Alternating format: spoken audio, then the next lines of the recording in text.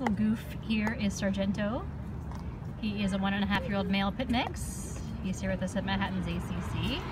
He is here as a stray. We don't know too much about him. Um, but what I know is that he is nothing if not playful. He now has not one, not two, but three toys with him that he's enjoying out here on the street. Just had a pup pass by him. He didn't care at all. He's busy with his toys. Um, so he definitely loves to play. That's his number one number one mission, I think, in life.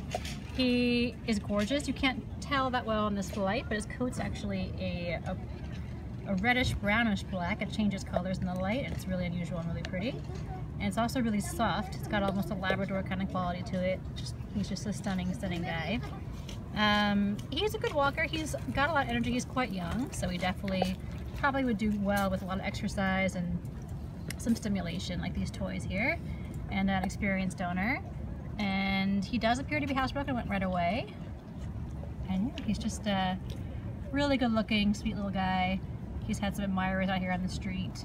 Um, stopped to stop to say hi to him. He's pretty hard to resist. So again this is Sargento a one and a half year old male pit mix here with his toy chest at Manhattan's ACC buddy. Good boy.